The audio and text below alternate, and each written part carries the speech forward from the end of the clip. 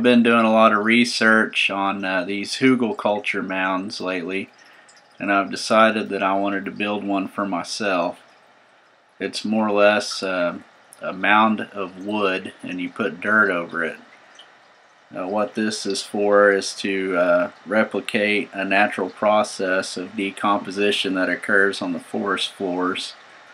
When the trees that fall in the forest become like uh, decaying logs and then the or when the branches fall off the trees and then the, the leaves fall they become decaying logs and it just covers it up over time. So this is basically what you're doing but you're putting the wood down with the dirt over it and it's gonna cause it to decay. Uh, a couple benefits that I've found on doing one of these beds is it holds a lot of moisture and as the wood uh, breaks down it gets hot so it makes the soil a little bit warmer and it can provide a lot of nutrients for the plants you plant in it. And also if there's like any little air pockets and voids around where the dirt goes around the wood uh, inside of it in the hollow spaces it can provide uh, a lot better aeration for like the roots and stuff of the the plants I believe this is uh, some sort of uh, German uh, farming application.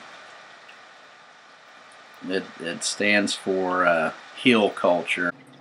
As you can see up in the, the picture I put up here, how when you first start building it, it, it shows the processes of you know the wood stacked up and how it decays over time and then eventually turns into more soil and the more plants you plant and the bigger they get. I've uh, decided to make mine about 30 foot long about 15 feet wide. So it's a little big but we're going to try it out and see how it works. Alright, so this is my hugelkultur mound I'm working on building. It's uh, 16 feet wide and about 32, 33 feet long. As you can see, I got a little bit more wood I want to put in here so it'll last a long time.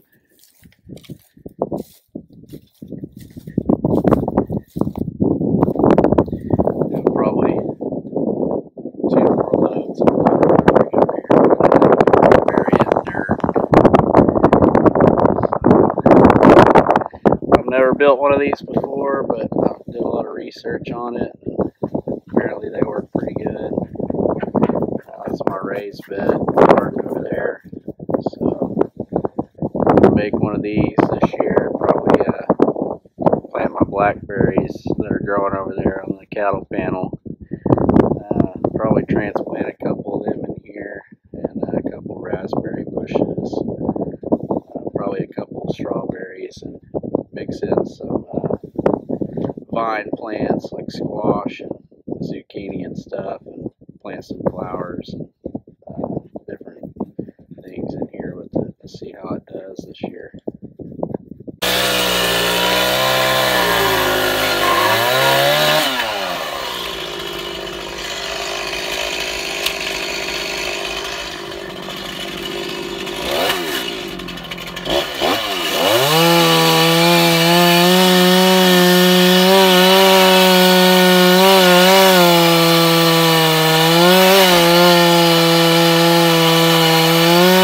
Well, I was trying to take all this wood up to put on my hugelkultur mound. And I made it from over there to here and my tire blew out.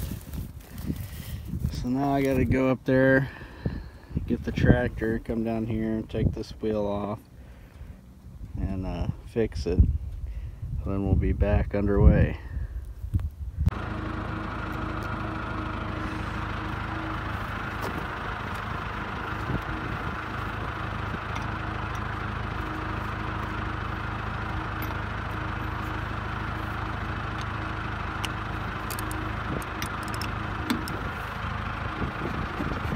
Alright, I got it broke loose. Just gonna lift this up, see if I can get the lug nuts off the rest of the way.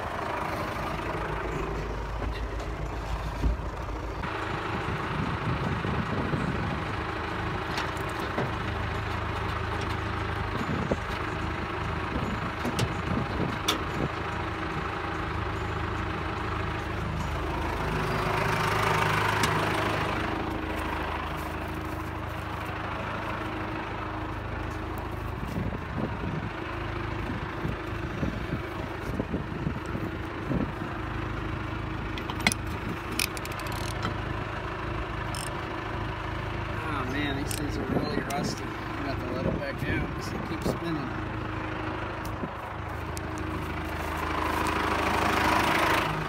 I don't think this tire's been off since I've owned this trailer.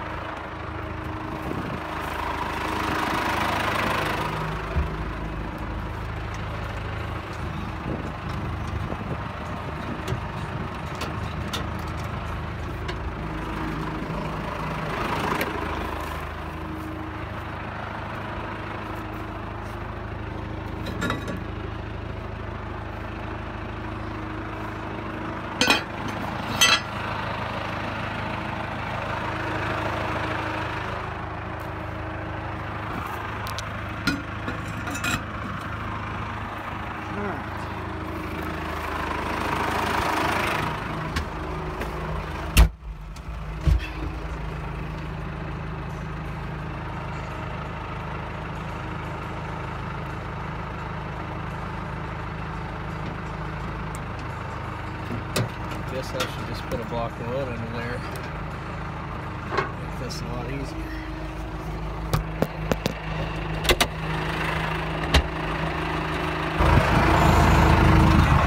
Alright, hopefully that's still up when I get back.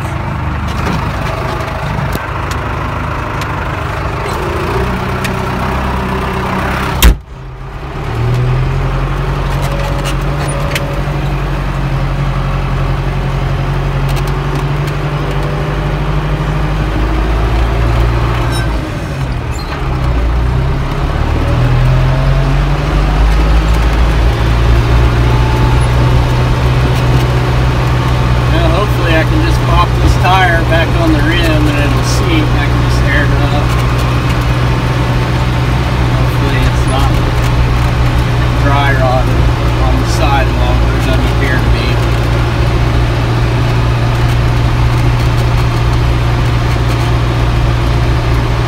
Stuff like this is what takes you a long time to get the thing done during the day.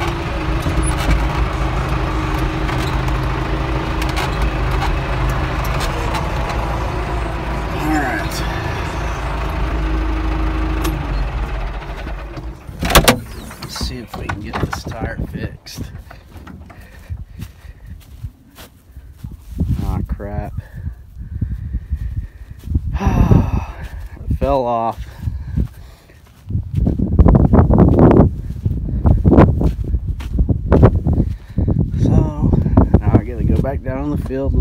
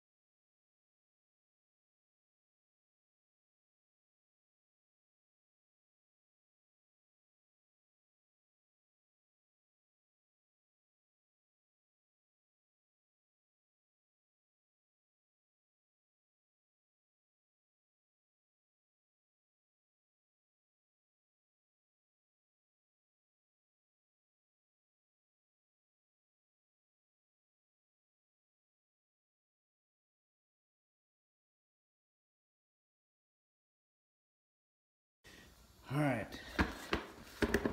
So now, after that took up about an hour and a half to go get some, I got uh, four, so now I got some extra. Now we're gonna go back down here and put this tire back on.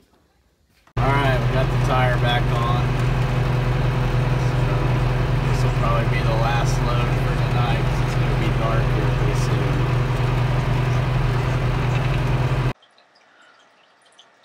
So I ended up and got the rest of my wood hauled in. I hauled a couple more loads just so it'd be able to last a lot longer when it decays. And then I started hauling in my dirt. I didn't video that part because it's just too hard. I don't have anything to hold my phone in the tractor, so using the loader and having to use both hands uh, to drive and dig dig the dirt. I can't video that at the same time, but I hauled in probably 25 bucket loads of dirt from down uh, behind the pond on some washed out uh, topsoil dirt. Uh, we're going to go ahead and dig a pond there eventually, so I've just been using that as my dirt spot to get dirt from.